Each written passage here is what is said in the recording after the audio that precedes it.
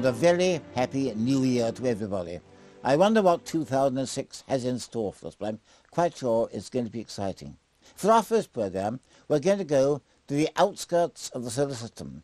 The New Horizons probe is about to be launched toward Pluto. Also, very interesting news from a couple of comets. First of all, our news notes with Chris. And we, we begin this time, Chris, with some very good news. Yes, it couldn't be better. The European Space Agency, or rather the governments that make up the European Space Agency, including our own, yeah. have approved a new program of solar system research called Aurora. In particular, in the early years of the next decade, the largest European lander ever to go to a different planet will touch down on the surface of Mars. It's called ExoMars, and it's going to be really exciting. Now, work starts here to work out what we want to put on the rover and to build it. Five years may seem like a long time, but it's really not for a spacecraft. We can't resist now showing you one of the best pictures ever obtained from Hubble, I think. This is the Crab Nebula. It's a supernova that blew up in 1054. Of course, it happened 6,000 years before that, but look at what it's, what it's left behind. Glowing gas, in all kinds of structures that Hubble can peer right into the middle and reveal the detail. You can see it with binoculars this month. It, it's a faint misty patch, but this is the real thing. Another one this September Nebula image, look at this. Yes, it's from the Gemini telescope on Hawaii, and it's the Twin Jet Nebula. You can see why it's called that. A small star, maybe the size of the Sun, is buried in the centre there, and it's puffed out its outer layers and produced this marvellous structure. We are getting now amazing results from these telescopes, and more to come in 2006, I'm quite sure. Absolutely. Chris, thank you very much. And now on to our main programme.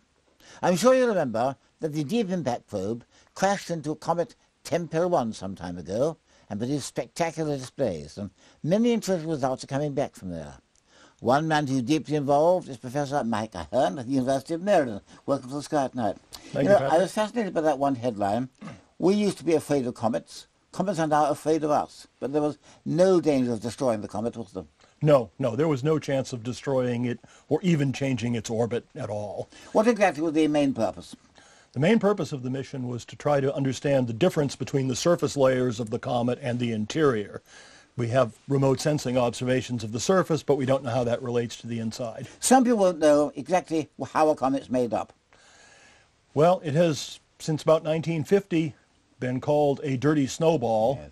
It's now perhaps closer to a snowy dirt ball, uh, since there's more dirt than snow, but it is basically the idea that Fred Whipple came up with in 1950 is still correct. Well, of course, Deep Impact, the probe, had been a total success. Now, I wonder whether you take us through it, Mike. Sure. We uh, launched in January of 2005, and we went halfway around the sun for six months. And then passed in front of the comet, and the comet ran over the spacecraft at 10 kilometers per second. How big was the comet? The comet has a radius of 3 kilometers. It's an irregular shape, but it's an average radius of 3 kilometers. The nucleus was, in fact, dark. Yes. If you look at a picture of the nucleus, you can see a few very bright areas. They're only somewhat brighter than the rest of it, the very brightest areas are almost as bright as a charcoal briquette. What happened when Deep Impact hit? Well, we came in very obliquely, so we tunneled underneath the surface. We vaporized part of the impactor, vaporized part of the target, and a puff of material blew its way up through the surface. That came out and moved away very rapidly. That was a small amount of material, perhaps 10 tons of material and we observed that it was very hot material. Then the rest of the material is excavated mechanically by the shock wave that went through. That came out much more slowly, and that came out very cold. Uh, the hottest material that came out later was room temperature. Most of it was perhaps, uh, oh, minus 73 centigrade. What about the crater produced? The, that's an interesting story. The crater uh, we never did see, because the dust and the ice came out as all very tiny particles. We expected it to be a mix of large and small particles, but because it was all small particles, there were too many, uh, too much cross section, and we were never able to see through it before we flew by. We think it was 100 to 200 meters in diameter, based on a number of indirect arguments, but we don't have a picture of it. You have some of the latest images. I do. I do. I have a, for example, a movie made up of the uh, images taken right after the impact, and you can see a tremendous shadow as the impact happens and the ejecta come out. You see a tremendous shadow. That tells you how much material was ejected. You can't see through it at all. And uh, that's part of the reason we never saw the crater. There was just so much small material that it was a completely opaque wall. There are rays but no clumps of material. It's just nice, uniform, smooth rays coming out. What was seen from Earth? From Earth, they saw a big increase in brightness, and they also saw large changes in the chemical composition. The uh, Earth-based observers are still working on trying to understand the uh, molecular species that they saw. Most of them are were, were molecules that have been seen normally from comets. Uh, but there are a lot of unidentified features that still have to be identified. What are the main constituents of a comet? The uh, main constituent is water. Um, after that, the main constituents that become gas that are easy to identify are methanol, which is a simple alcohol, uh, carbon dioxide. We don't normally observe that from Earth, but our spectrometer on board the spacecraft observed carbon dioxide, dry ice. Everything on Tempel 1 seems to have gone perfectly. Is there anything you wanted to do but didn't? There is one thing. We did want to see the crater. That's about the only thing that we didn't do that we wanted to do. Well, this first one was a real triumph. Everything went right. Mike, yes. congratulations. Thank, Thank you. you very much. Thank you, Patrick. Let's stay now for a bit with comets. They are not all brilliant things with long tails. Some are very small and insignificant, but they've told us a great deal, and we're learning more about them because probes have been there. And one probe, Stardust, had been out to a small comet, Cometville, and is now actually on its way back. Welcome now to one of our old friends, Dr. Mark Kidger, also Dr. Simon Green of the Open University. Well, Stardust is um, a fascinating mission. Uh, will you take us through it, Simon? Yes, well, Stardust, uh, essentially the mission had two parts to it. One was the, the flyby of Comet Wild 2, which was uh, the closest distance, at least the one which we know precisely, um, at 200 and, about 240 kilometres from the, the, this nucleus, a few kilometres across. Um, but going that close, you, you, the, put the spacecraft in great danger, and it's precisely that great danger is the thing you need because you want to collect the dust particles that are emanating from the comet coming off with the evaporating ices. We had a, a, a sensor on one half of the front shield in front of the main part of the spacecraft. And we also had a second sensor on the shield behind. There were about five layers of shields between the impacting particles and the sensitive parts of the spacecraft. And one centimetre particle would have gone through all of them. Uh, we had seven particles that went through the thickest first shield, and they were at least a millimetre in size. And we estimate the largest one on the spacecraft as a whole, based on our information, uh, was four millimetres in size, so getting very close to yes. that critical size. But of course, it's not what's hitting the spacecraft that counts. It's what's hitting this collector yes, to uh, come back to the Earth, which is the second phase of the mission. And that collector you might think of as a, a large tennis racket containing uh, between the strings essentially containing glass, but not just ordinary glass. This is very, very low density, spongy, porous glass. And the idea of this is to slow the particles down from their flyby speed of about six kilometers a second without heating them up. And that's the key thing. We want to bring back these dust particles as unaltered as we can so we can study their composition and structure in the laboratory. When's it due back? Uh, 15th of January, uh, about 3 o'clock in the morning uh, Pacific time, and it's going to land in the desert near in Utah and um, hopefully be, be uh, come down softly on a parachute. Therefore, the landing procedure is not the same as it was with Genesis. Uh, not quite the same. Uh, with Genesis, there was a, a, stunt helicopter to catch the uh, the parachute as it came down. With the case of Stardust, it will just land on the ground. But we hope what will happen is the parachute will open, uh, and then the, uh, the probe will be searched for after it's landed. We've got results already from the results of the flyby. What have we learned from that? It was a surprise to me because we had a feeling that Wild 2 would have an old surface. It had a close encounter with Jupiter in, in the 70s, um, so it's only had a few passages close to the Sun, and we thought the surface would be battered with craters and telling us something about its early history out in the outer solar system. Um, it certainly doesn't look like that at all. Now, one thing strikes me, though. We've now seen various comets in close-up, beginning with Halley and now ending with Wild.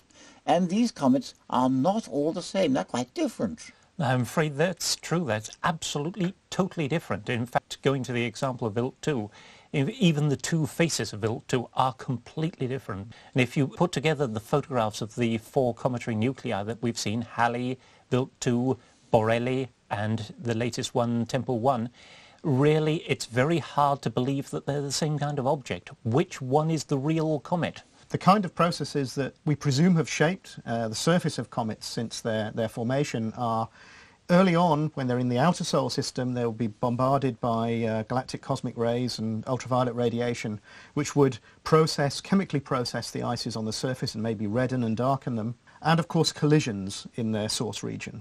And so we would expect the surface to be covered with craters, maybe with frosts where material has come from a crater and then recondensed on the surface. Um, and then later on in the history, if they come into the inner solar system, they may have had a close approach to a planet, been tidally disrupted and re-aggregated, so seeing um, the evidence of a rubble pile formation.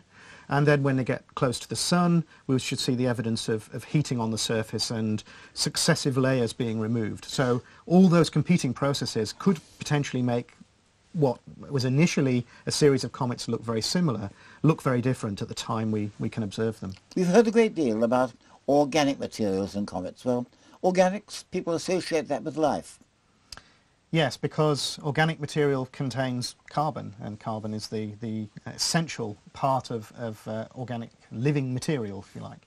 Um, but of course that doesn't mean there's living material no, no. comets. Definitely um, But they may contain the very earliest building blocks for the material that eventually went up to make life on the Earth and maybe elsewhere too. So let's turn now to the outer part of the solar system and the departure of New Horizons for Pluto.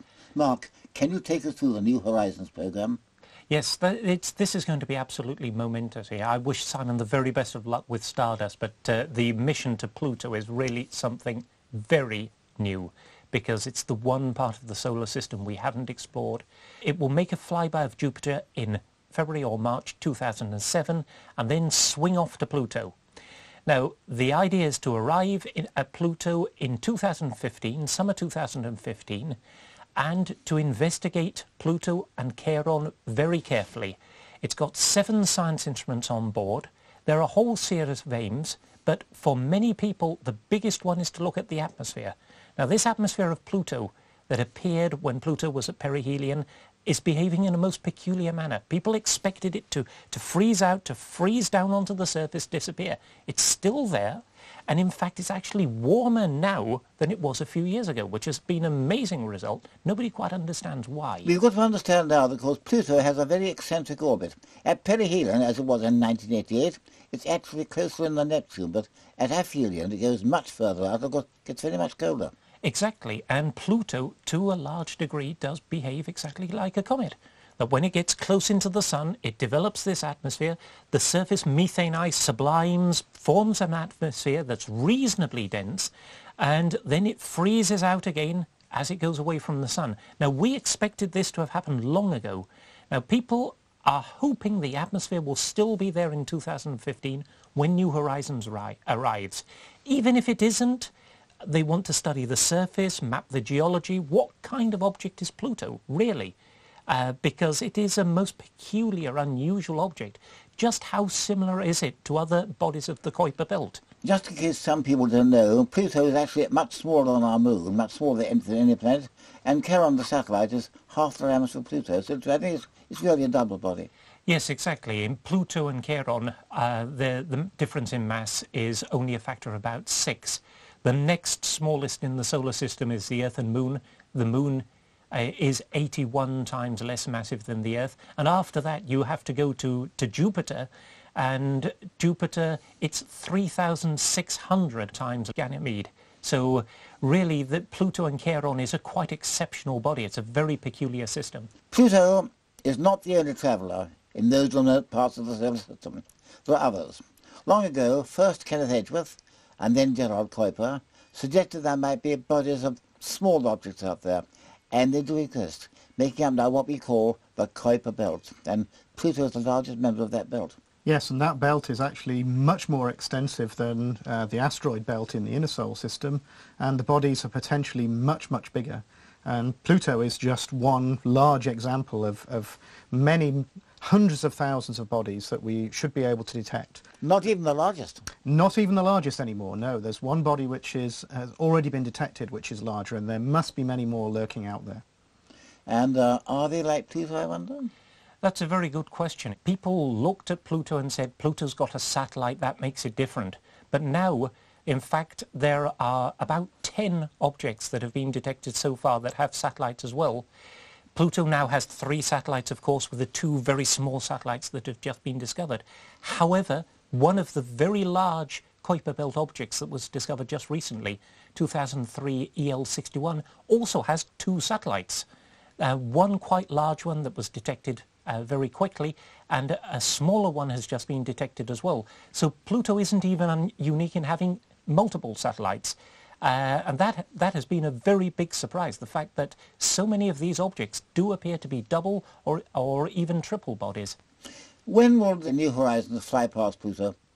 Well, it should reach Pluto and the Kuiper Belt in uh, summer 2015, if we're lucky. Now, there is a possibility yeah. that if the launch is delayed, uh, it could miss its Jupiter flyby and it will arrive much later.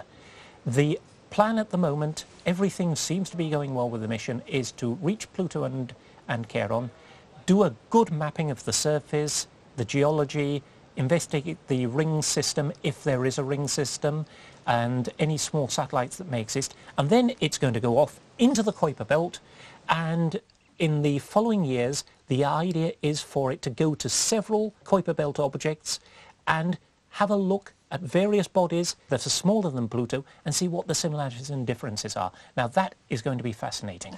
Now let me come now last to the one, one knotty problem. I'll put it this to both of you. I've got my own ideas here. We always regarded Pluto as the ninth planet, but is Pluto a planet? What do you think, Simon? Um, I think it isn't a planet. I think it's just one of the larger Kuiper Belt objects. But um, given the history of the nomenclature and um, we've all grown up being used to thinking of Pluto as a planet. And I think we shouldn't change that, but we shouldn't name any more. We'll have mm-hmm. not only Planet 10, Planet 11, Planet 12, Planet 13 very, very quickly. So I think it's not a planet. What do you think, Mark? Well, I remember in 1979, you sent me this as an exam question in Queen Mary College. I said, yes, it was a planet, and I was wrong. It is not a planet. Uh, I I'm not as optimistic as Simon. I think that uh, many more of these objects larger than Pluto and it's going to be very, very difficult to maintain the fiction that uh, Pluto should be kept as a planet. It isn't, I'm afraid. It's not a planet. I'll nail my colours to the flag. I'm talking about planets in our own solar system. And I would define a planet here as being a spherical object going around the Sun and as large as or larger than Mercury, which is just over 3,000 miles across. I think you'd find, Patrick, that quite a lot of people would be sympathetic with that view. anyway, Pluto there, planet, KB or not, it's a fascinating world. Mark, Simon, thank you very much. Well, it's uh, newsletter time. If you want your newsletter, then send your stamped addressed envelope to the following address. The Sky at Night, Newsletter 100, BBC Birmingham, the mailbox B11RF. And uh, when I come back next month, I will be going with Chris to the top of Mauna Kea in Hawaii to visit one of the world's really great observatories. So until then, good night.